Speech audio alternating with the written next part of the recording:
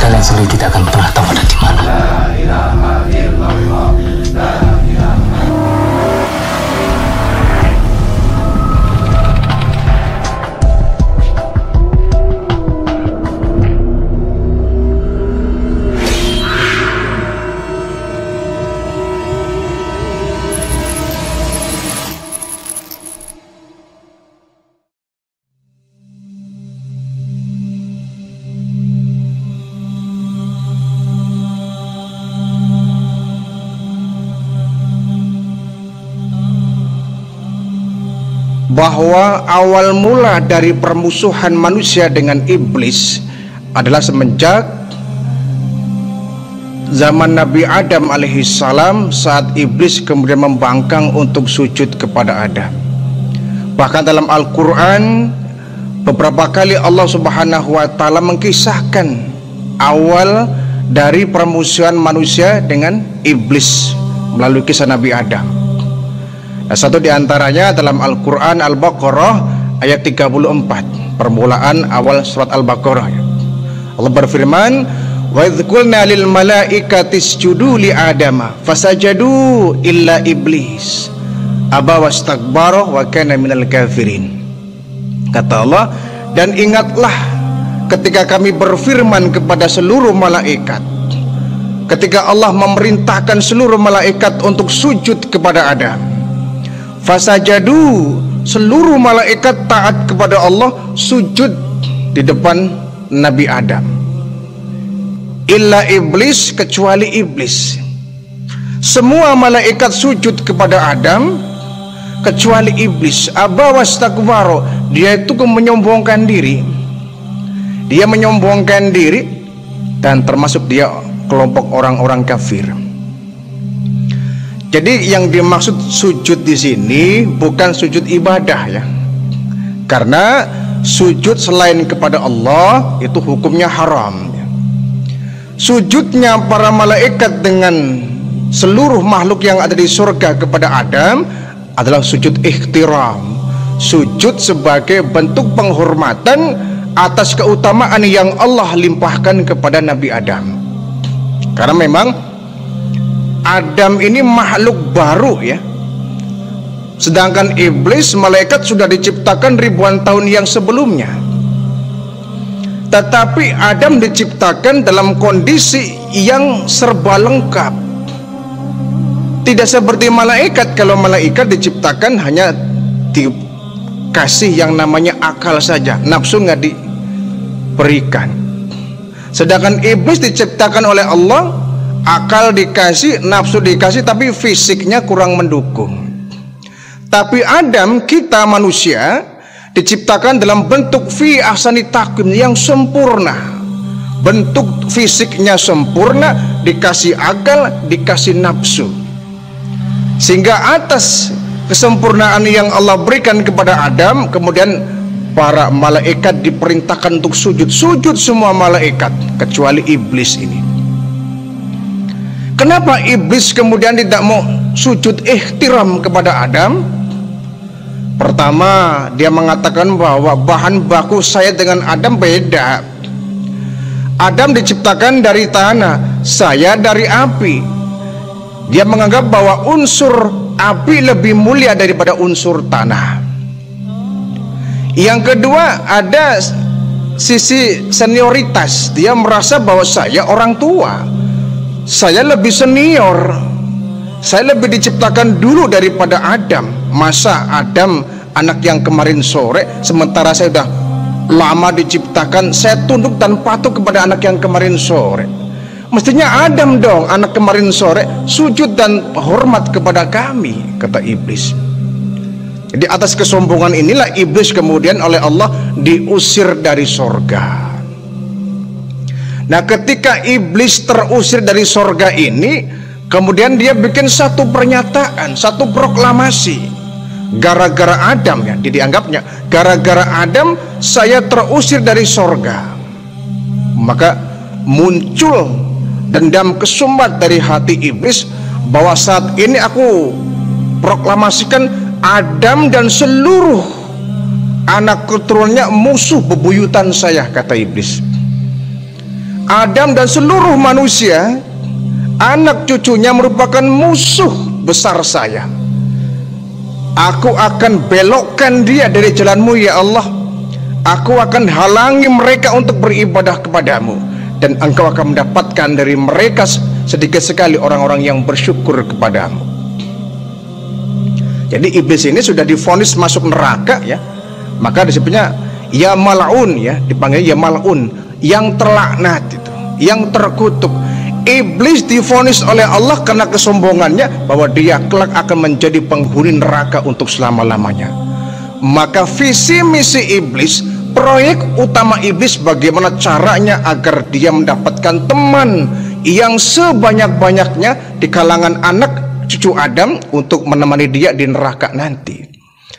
Setidaknya ketika dia dihukum oleh Allah, dijebloskan ke dalam neraka, kalau sendirian kan menyakitkan sekali. Tapi kalau rame-rame itu kan seru mungkin ya. Dia dendam enak saja. Adam dan anak keturunannya masuk surga sementara saya masuk neraka. Nggak bisa. Maka cara apa pun akan dilakukan agar kita manusia terjebak kepada jebakan setan sehingga menemani mereka ya, menemani iblis dari dunia sampai di neraka nanti. Nauzubillah min dzalik. Nah kemudian ada satu keterangan ya. Umar bin Khattab bahwa namanya iblis ini memiliki sembilan keturunan ya. sembilan keturunan yang masing-masing memiliki tugas yang berbeda-beda. Namanya berbeda-beda tugasnya juga berbeda-beda. Pertama ada iblis yang bernama Zailatun. Iblis yang bernama Zailatun ini apa tugasnya? Adalah menggoda para pedagang di pasar agar mereka selalu melakukan kecurangan-kecurangan di pasar agar mereka melakukan penipuan-penipuan ketika transaksi jual beli di pasar. Ini tugas dari iblis yang bernama Zailatun. Jadi mereka itu nggak satu iblis, mereka banyak ya. Bangsa Zailatun ini tentaranya banyak. Mereka menyebar di setiap sudut-sudut pasar menggoda agar para pedagang terutama di kalangan umatnya baginda Rasul ya, dan seluruh umat manusia yang beriman kepada Allah agar mereka melakukan berbagai macam kecurangan saat transaksi jual beli di pasar. Itu sebabnya kata Nabi, tempat yang paling buruk adalah pasar ya. Sebaik-baik tempat adalah masjid dan seburuk-buruk tempat adalah pasar. Sebab mohon maaf, kalau sudah di pasar ya, jangankan orang yang memang ibadahnya bolong-bolong, orang yang mungkin ibadahnya rajin pun terkadang ketika sudah di pasar mereka menanggalkan imannya Inilah perlunya kita iman agar mengikuti semua gerak-gerik kita. Jangan sampai kita beriman mengenal tempat. Di masjid kita beriman kepada Allah, di kantor nggak beriman kepada Allah ya. Makanya iblis bilang, "Sudah iman kamu di masjid saja ya. Ketika kamu bekerja, jangan kau bawa imanmu bikin ribet." Akhirnya iman kita ya sesuai dengan kondisi tempat kita berada di masjid iman kita mantap. Ketika di kantor iman hilang. Di masjid iman hidup, di pasar iman kocar kacir. Di masjid iman kita terpupuk bagus. Di tempat kita bekerja iman kita sering mendapatkan hambatan. Terkadang iman kita terbelenggu. Kalau iman kita terus, terus mengikuti kita ke mana kita pergi dan beraktivitas, insya Allah kita nggak akan gampang melakukan tindakan kecurangan. Termasuk seorang pedagang saat dia membawa dagangannya di pasar, dia mencari keuntungan. Padahal kalau dagang itu jujur ya, biarpun dapat sedikit labanya, itu lebih baik tapi mengandung berkah daripada kita nipu-nipu pembeli dengan mendapatkan laba keuntungan yang banyak tapi tidak berkah karena kita banyak menipu pembeli. Jadi jangan sangka kita kemudian orang yang ahli ibadah tidak menjamin kemudian dia akan melakukan kejujuran dalam berdagang kecuali memang dia imannya militan, imannya terkuat di batinnya, imannya berakar dan berurat sampai di jiwanya sehingga dia ke mana bekerja pun dia akan selalu melakukan tindakan-tindakan yang baik. Jadi iblis yang bernama Zailatun ini kalau sudah uh, pagi, sudah matahari terbit, fajar menyingsing, dia mulai menyebar ke seluruh pasar-pasar ya. Baik itu pasar tradisional ya maupun pasar-pasar yang modern.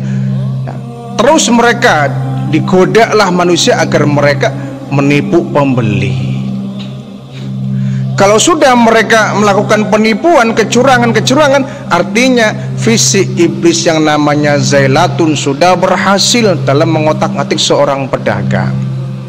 Ya, maka dibiasakan ketika berangkat kita mengucapkan Bismillahirrahmanirrahim haula billah agar langkah kaki kita menuju tempat kita mencari nafkah tetap dilindungi oleh Allah Subhanahu wa taala. Satu ya, Zailatun iblis yang tugasnya menggoda orang-orang di pasar. Yang kedua ada iblis yang bernama Wawasin. Wawasin ini iblis yang bertugas menggoda manusia agar manusia tidak bersyukur kepada Allah. Agar manusia senantiasa menggerutu, menyesali apa yang terjadi dalam kehidupannya.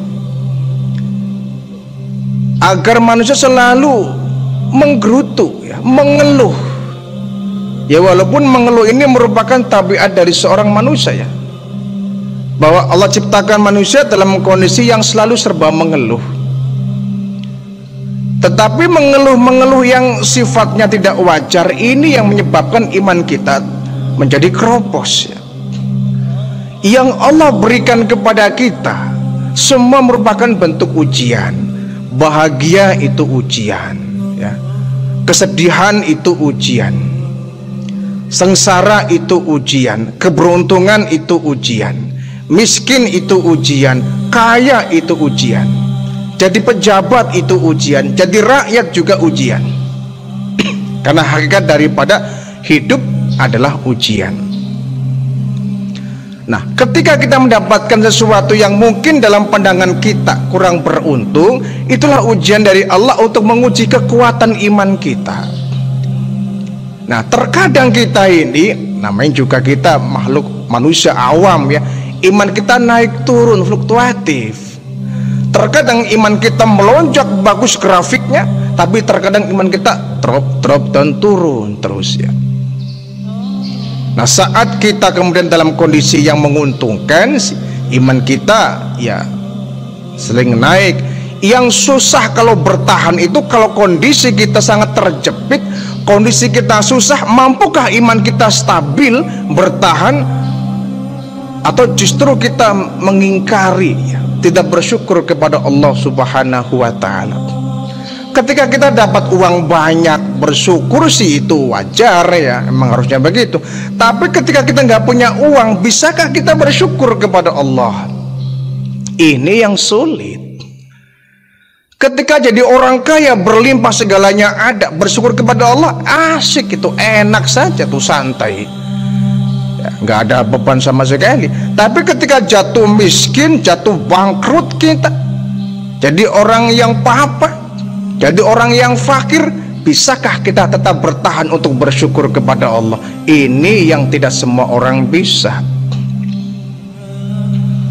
jadi menggerutu ini merupakan sifat dari manusia yang ditimbulkan oleh iblis. Ya, kita terus terang aja sering sekali menggerutu kita ya. Pagi-pagi umpama kita mau berangkat kerja, hujan besar ya. Menggerutulah kita. Aduh. Pagi-pagi hujan begini, ya. bagaimana saya mau berangkat kerja nih? Menggerutu kita pasti itu. kemarau panjang gak hujan-hujan menggerutu kita aduh gak hujan-hujan panas sekali ya dikasih hujan menggerutu dikasih kemarau juga menggerutu itulah yang namanya manusia dikasih uang banyak pusing dikasih tidak punya uang lebih pusing lagi. Jadi kita ini kadang-kadang serba serba mengeluh.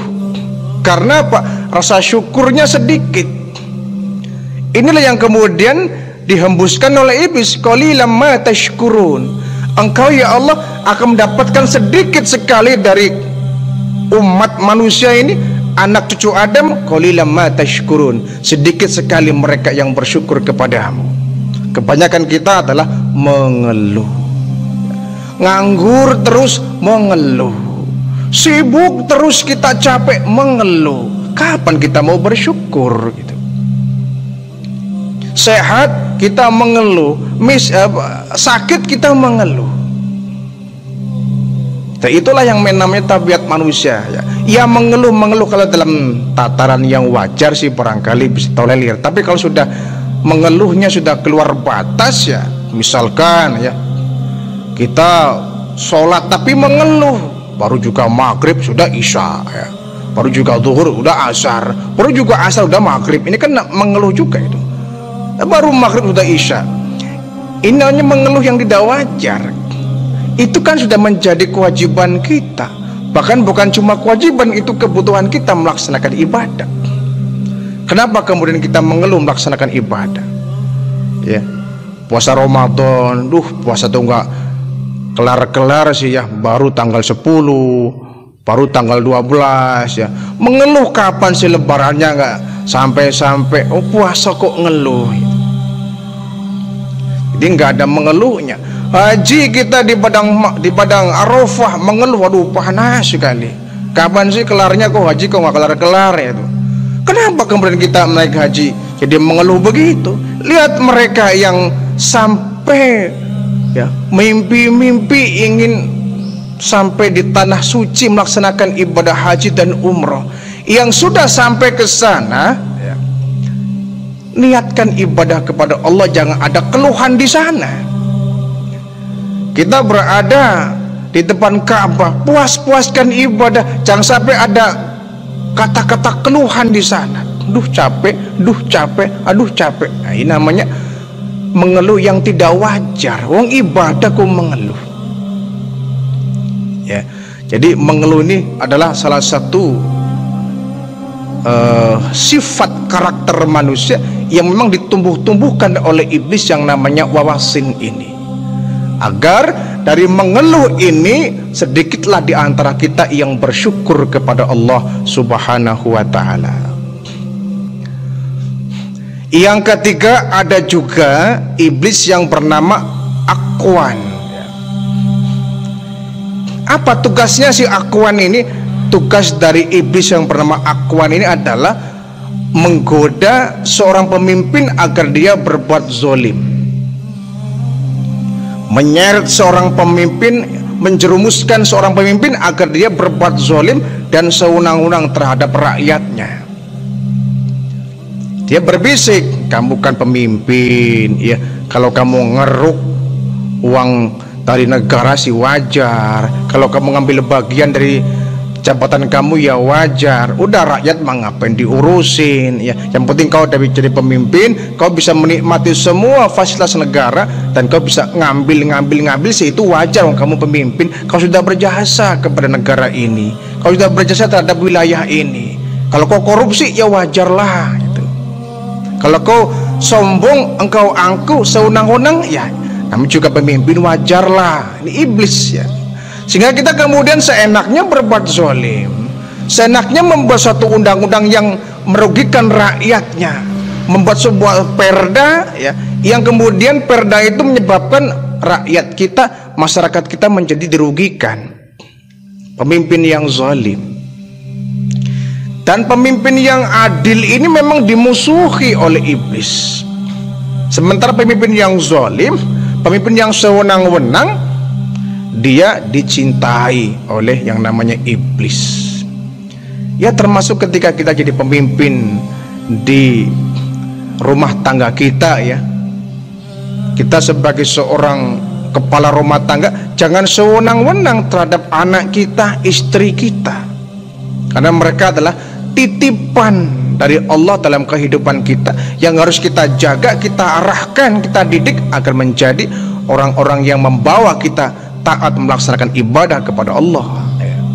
Jangan jadi seorang kepala rumah tangga yang sewenang-wenang ya. Mentang-mentang dia yang menjadi terdepan dalam mencari nafkah, dia kemudian mentang-mentang ya menyuruh anak, menyuruh istri seenaknya sendiri.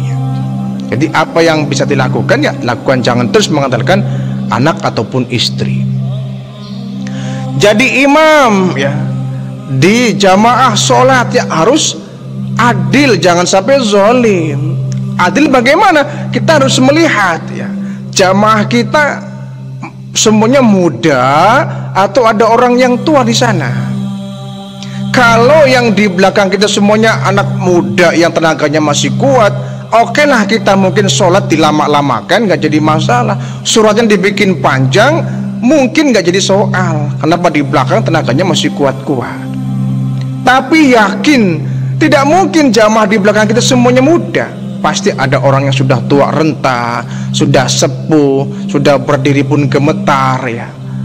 Jadi melihat kenyataan ini seorang imam yang baik dia harus pilih mana kira-kira surat yang tidak terlalu panjang juga tidak terlalu pendek supaya pas ya jangan sampai kita digelendengi ya digerutui sama jamaah kita ini imam terlalu banget ini.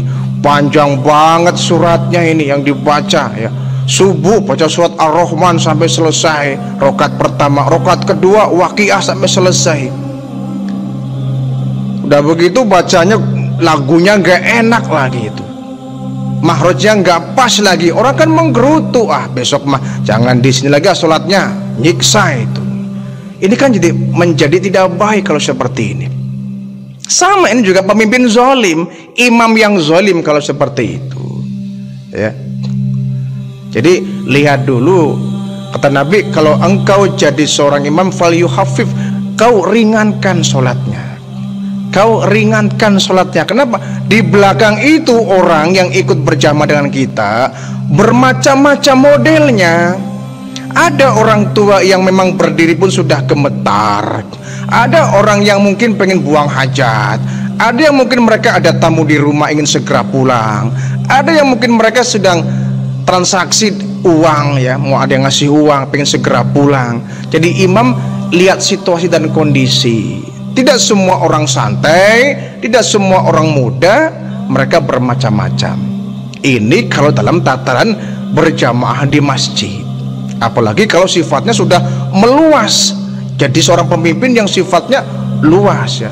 Jadi lurah, menjadi camat, menjadi wali kota, bupati, gubernur, presiden semakin luas jangkauan wilayah yang dia pegang, maka semakin besar pula tanggung jawabnya. Jadilah pemimpin yang adil jangan pemimpin yang menzolimi rakyatnya akuan ya. Akuan ini adalah iblis yang tugasnya selalu menggoda para pemimpin agar mereka berbuat zolim yang keempat ada iblis yang bernama Hafaf.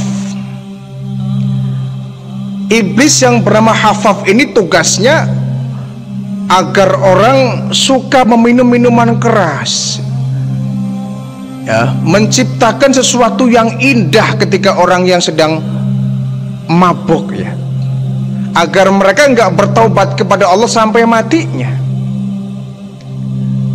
Kata iblis Hafaf ini udah, ini kan minuman kebanggaan kamu. Dengan minum ini kamu bisa ringan segala beban hidup kamu segala masalah yang kau hadapi akan terasa ringan bahkan hilang kau minumlah ini nggak apa-apa tobat mah gampang nanti kalau udah mati tobat mah gampang nanti kalau udah tua sekarang masih muda nikmati masa mudamu ya. Jangan sampai masa mudamu kamu ke masjid pengajian. Ah ketinggalan zaman kamu. Kamu anak muda harus gaul harus modern. Minumlah ini ya. Nanti mah gampang sudah. Tua taubat. Sudah kira-kira sudah mendekati ajal baru taubatlah. Digoda manusia agar terangsang kepada minum-minuman keras. Ya kalau kamu minum sedikit pada nggak mabok nggak bakal dosa terangsang kita di saat ada orang membeli minuman keras berangkat ke tempat membeli minuman keras iblis sudah senyum ah ini sudah tanda-tanda mau mabok ini Ketika dia datang membawa minuman keras semakin girang itu. Ketika kemudian botol minuman keras dibuka, iblis semakin tertawa lebar. Ketika minuman keras sudah dituangkan di gelas, iblis tertawa terbahak-bahak. Ketika kemudian minuman itu sudah masuk ke bibir, masuk ke mulut, masuk ke kerongkongan, masuk ke badan, iblis bahagia ya. Menari-nari dia. Artinya apa? Semakin banyaklah teman-teman saya kata iblis yang masuk ke dalam neraka. Jadi orang yang mutminul khamr ya orang yang berkekalan dalam minuman keras itu musuh iblis. Bahkan termasuk dia melakukan perkara yang membinasakan. Jadi bagi saudaraku yang saat ini masih ya hobi meminum minuman keras baik itu bentuknya cair atau yang bentuknya narkoba ya narkotik obat-obat terlarang berhentilah taubatlah kepada Allah sebelum nyawa anda dicabut oleh malaikat Israel kalau sudah dicabut ruhnya maka terputuslah pintu taubat. Tertutuplah pintu taubat. Orang sudah nggak akan diterima taubatnya kalau sudah nyawanya berada di kerongkongan. Malam yogargir ya ada di kerongkongan. Jadi jangan pernah kita menurutkan hawa nafsu. Jangankan kita minum perkekalan ya kita minum sekali ya. Ibadah kita 40 hari akan tidak diterima oleh Allah subhanahu wa ta'ala. Kenapa? Minuman keras adalah ummul khaba'is. Ya, induk dari semua kejahatan adalah minuman keras khamr ya.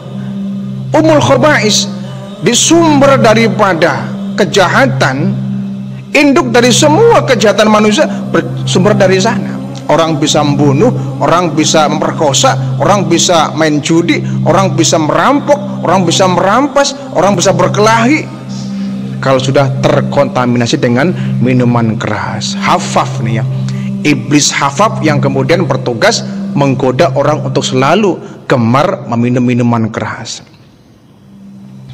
Yang kelima ada iblis yang namanya wamurrah.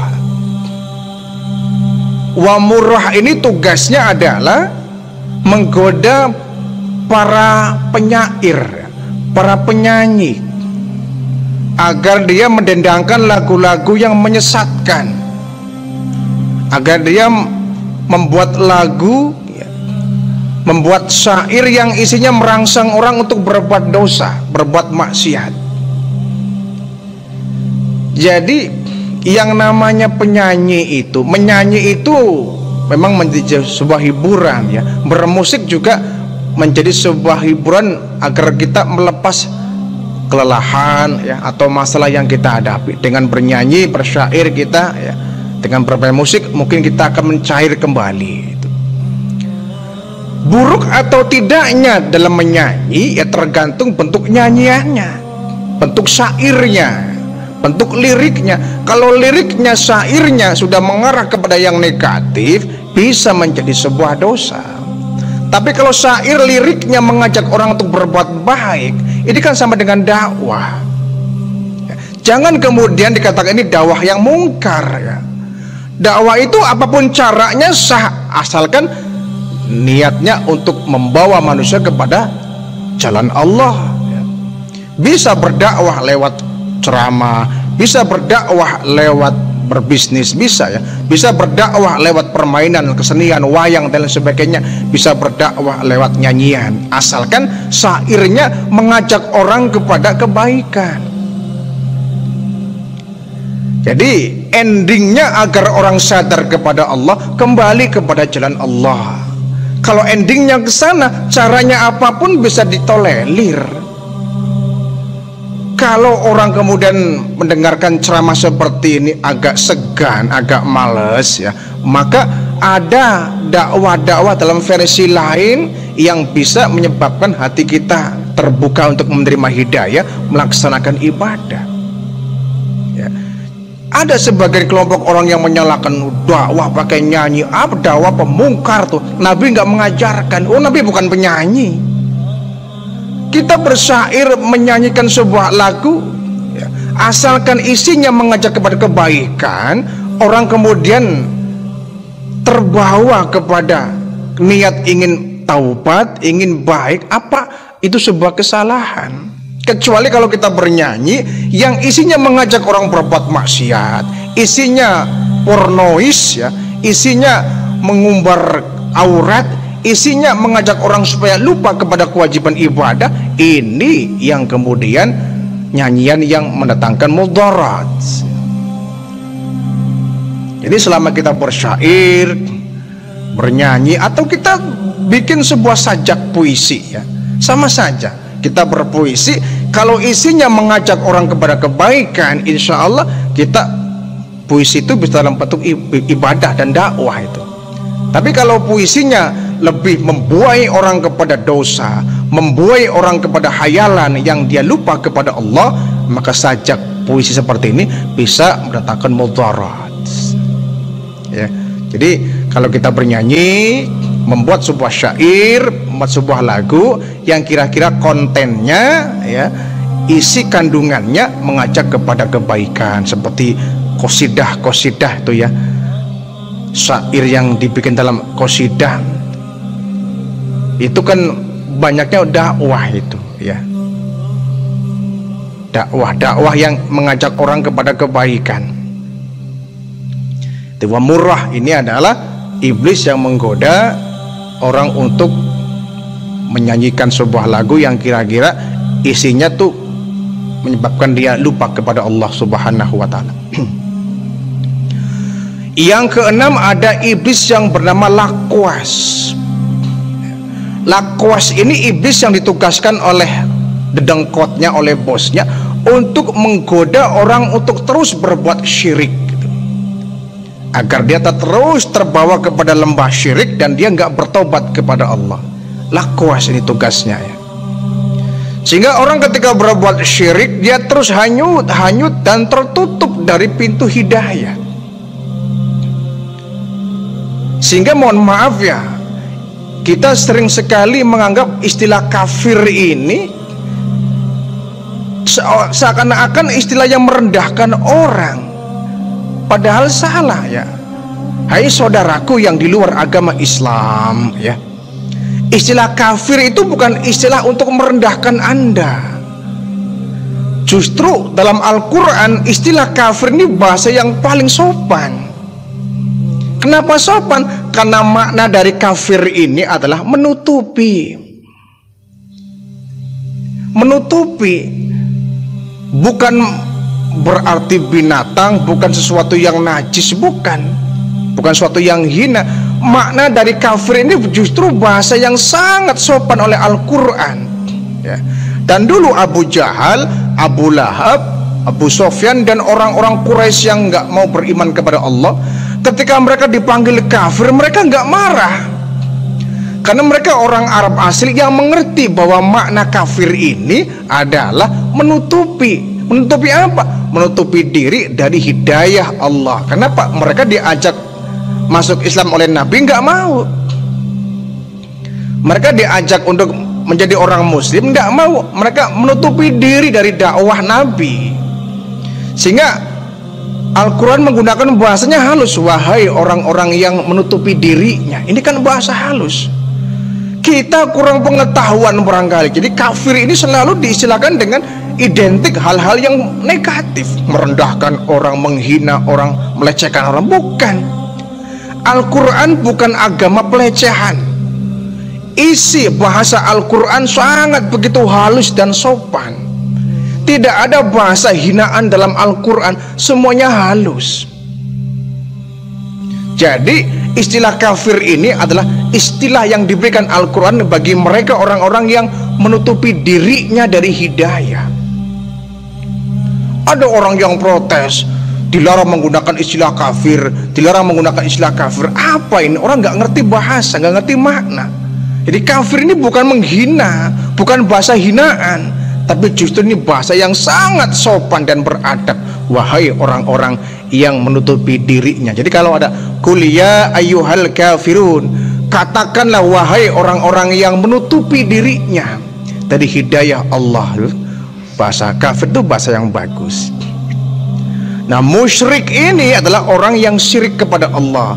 Perbuatannya syirik orang yang disebut dengan musyrik orang kalau sudah menyekutukan Allah ya di dipasung oleh yang namanya lakwas ini agar dia nggak bertobat kepada Allah agar hidayah nggak datang nggak hadir dalam batinnya yang ketujuh ada iblis yang bernama Akwar ya.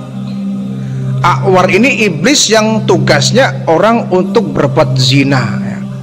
Orang agar terlena kepada perbuatan zina ini oleh Akwar dihiasi dengan keindahan ya. Yang kedelapan ada yang disebut dengan iblis yang bernama Wasnan. Iblis yang bernama Wasnan ini tugasnya, eh, ini paling kurang ajar iblis ini. Kenapa? Suka ngencingin orang ibadah. Jadi dulu ada satu riwayat ya, walaupun ini riwayat lemah, tetapi ini akan menjadi sebuah ektibar ya, renungan bagi kita. Iblis ini setiap hari dia keliling ke permukaan bumi dengan membawa tiga benda. Dengan membawa tiga benda. Pertama tepung ya. Tepung. Yang kedua paku ya. Paku ini supaya mereka itu merasakan nggak nyaman. Tepung paku. Yang kedua ini iblis bawa namanya kain yang terbikin dari kulit kambing ya. Bawa kulit kambing bawa tepung, bawa paku iblis ini. Ada orang tanya, wahai iblis kau bawa kulit kambing, bawa tepung, bawa paku buat apa itu? Dijawab oleh iblis, nah kau ingin tahu kulit kambing untuk apa itu? Nah ini ini fungsinya aku tebarkan kepada seluruh manusia ya, yang mau ibadah ketika di pagi hari di waktu subuh ketika ada kumandang azan as-salatu khairum minan naum. Dikumandangkan azan agar kita bangun salat subuh. Ini tepung saya hamparkan ke seluruh manusia yang akan ibadah. Sehingga begitu dengar azan dengar si dengar. Cuma asik kita lagi anget-angetnya tidur di selimut kita. Bangun berat sekali. Itu barangkali yang menyebabkan orang siang uh, subuhnya kesiangan ya. Karena ditaburkan yang namanya kulit kambing sehingga nyamanlah tidur kita subuhnya kelewatan. Nah kalau tepung buat apa ini iblis? Nah tepung ini gunanya agar mereka ketika lagi baca Quran ya saya taurin tepung itu matanya supaya pedih ngantuk sehingga baca Al-Quran tuh nggak betah awalnya ngantuk aja ngantuk ya. Ketika mereka hadir di pengajian-pengajian taklim-taklim saya tawarin tepung tuh. Saya haburkan tepung di matanya. Sehingga matanya pedes ngantuk. Akhirnya ketika dengar pengajian sih dadir mah hadir di masjid. Cuma ngantuk aja ngantuk nguap terus ya. Akhirnya apa yang disampaikan oleh sang mubalik kita nggak kita dengarkan. Nah terutama ketika Salat Jumat itu. Coba ketika salat Jumat dilihat hampir ya ya mungkin 60% lah. Semua jamaah yang hadir 60% ngantuk semua tuh kalau Jumat. Khotib naik di mimbar bukannya dengarkan resapi nikmati ceramahnya ya tausiah tausiahnya nasihat nasihatnya karena mungkin ditawurin tepung matanya jadi jamaah yang di masjid itu rata-rata ngantuk semua itu 60% lah ya. 40% yang dia bisa sehat bugar mendengarkan isi ceramah isi khotibnya isi khotbahnya. Rata-rata pojok sana ngantuk pojok situ ngantuk tengah ngantuk pinggir sana ngantuk pinggir situ ngantuk ngantuk semua itu. Ngantuk semua itu. Sehingga ketika khutbah disampaikan nggak tahu bahas apa materinya apa nasihatnya apa nggak didengarkan. Jadi mereka hanya yang penting sholat Jumat. Oh nggak bisa begitu. Yang namanya khutbah dengan sholat Jumat satu rangkaian. Satu rangkaian yang tidak bisa terpisah. Kalau yang satu rusak yang lain akan rusak. Ya. jadi wasnan ini tugasnya ngencingin orang ibadah. Ya. jadi ketika orang sedang ibadah dikencingi. Kemudian kata iblis ini paku buat apa? Nah kalau paku ini aku pasang ketika mereka lagi wirid, zikir, baca Quran, ibadah ya. Saya pasang paku di pantatnya supaya apa? Gelisah dia tuh panas itu hawanya tuh nggak betah duduk pengennya berdiri berdiri ya. Itu pengajian tuh kelesat kleset kelesat kleset dipasangin paku supaya nggak betah duduk mendengarkan pengajian. Jadi cara apa pun akan dilakukan agar kita ibadahnya terusik ya ini wasnan itu. Yang kesembilan ada yang bernama dasim iblis ini. Tugasnya apa? Tugasnya adalah agar suami istri masing-masing berbuat curang ya selingkuh ya.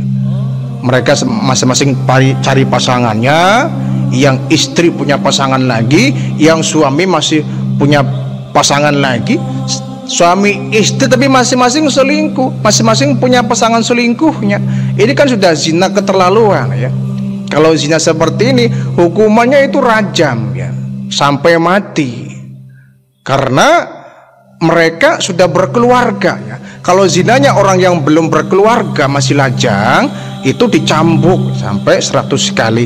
Tapi kalau sudah berkeluarga masing-masing punya pasangan, istri masih sudah masih punya suami, suami masih punya istri tapi dia selingkuh, rajam sampai mati itu.